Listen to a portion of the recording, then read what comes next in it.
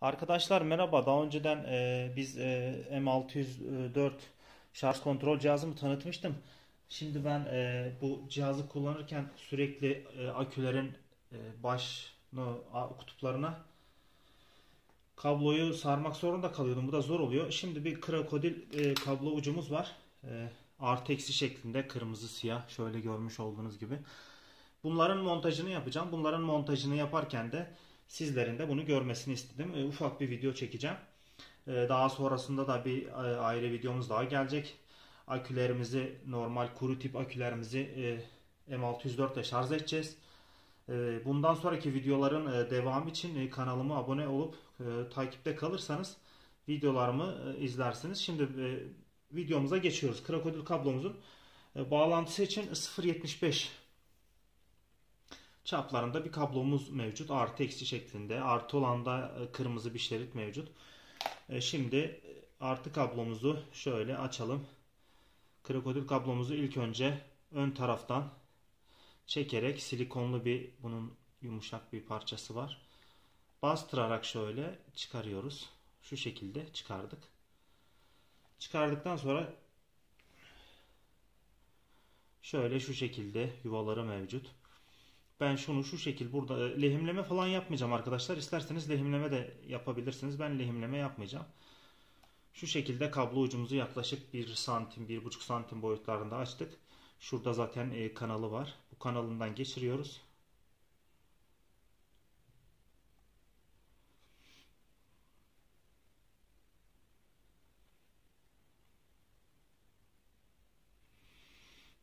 Kanaldan geçirdikten sonra burada da e, kablomuzu sıkıştırmak için şöyle bir bölümümüz bulunuyor.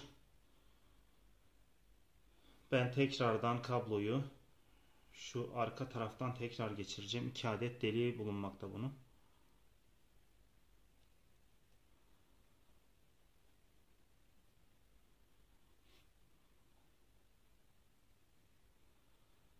Tekrar geri geçiriyorum yandaki delikten.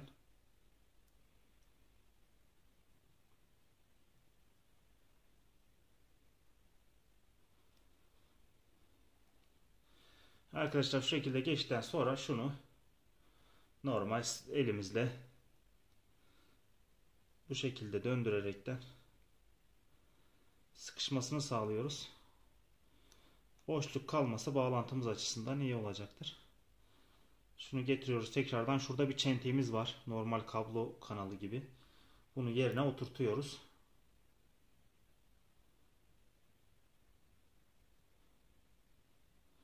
Oturtma işlemi sonrasında bu kablomuzu bir pense yardımıyla sıkıştıracağız. Pensemizin ucuyla kabloyu şu şekilde sıkıştırıyoruz. Kablomuz oynamasın diye. Şu şekilde. Şimdi tekrardan hmm, şu şekilde e, kablomuzu takacağız. Bunu şu şekilde geçireceğiz içine. Şu şekilde geçmesi için tabi kablomuzu başlangıçta geçirmemiz lazımdı. Geçirmediğimiz için şu kablomuzu şuradan alıyoruz. Arkadaşlar kablomuzu unutmayalım. Kablomuzu unutursak işlemlerimiz tabi zorlaşacaktır. İlk önce kabloyu geçirmek gerekiyordu. Kablomuzu geçirmediğimiz için biraz uğraşmak zorunda kalacağız.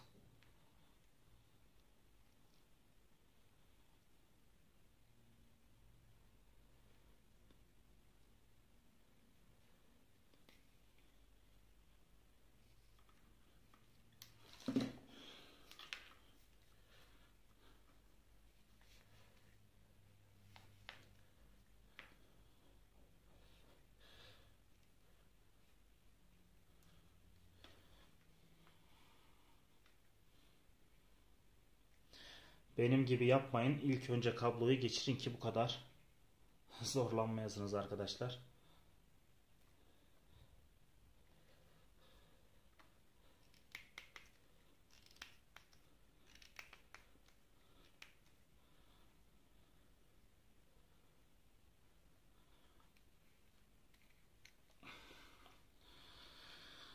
Şu bağlantıyı takmak için de şu boşluğa şöyle Krokodil kablomuzun şurasını bir pense yardımıyla tutturalım.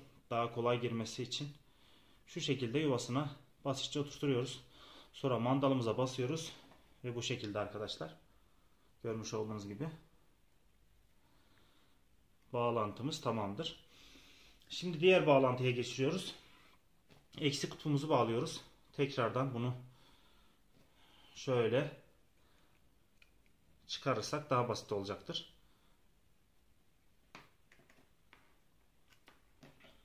Demin bir hata yaptık. Şunu geçirmeyi unuttuk bu sefer. Kablomuzu geçiriyoruz. Geçirdikten sonra demin gösterdiğim gibi bağlantısını yapıyoruz. Şurada çift taraflı bir delik var. Geçiriyoruz buradan.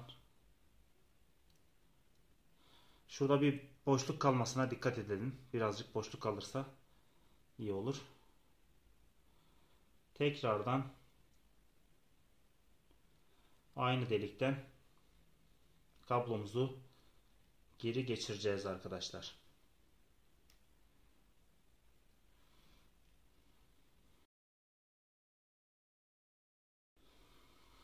Arkadaşlar şöyle kablomuzu geçirdik. Etrafında döndürerek sıkıştırmaya çalışıyoruz.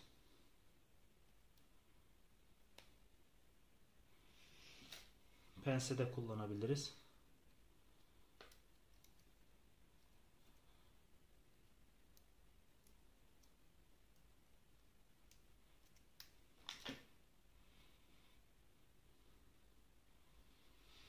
Bağlantımızı yaptıktan sonra kablomuzun kanalı vardı. Kanalına oturtuyoruz kablomuzu.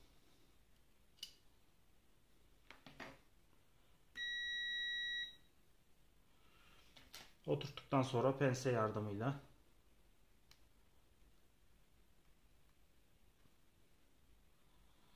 kablomuzu sıkıştırıyoruz.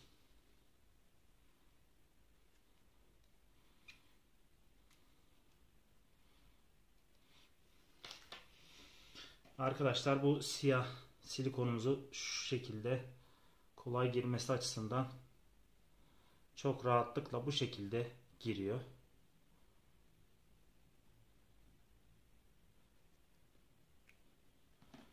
Şu şekilde arkadaşlar. Kablomuz bu şekilde kullanıma hazır. Umarım faydalı bir video olmuştur. Dediğim gibi bundan sonraki videomuzda M600 cihazımızla e, kuru akülerimizi şarj etmeye çalışacağız. Kanalımızı takipte kalın. Videolarımız devam edecektir. Hepinize iyi günler diliyorum arkadaşlar.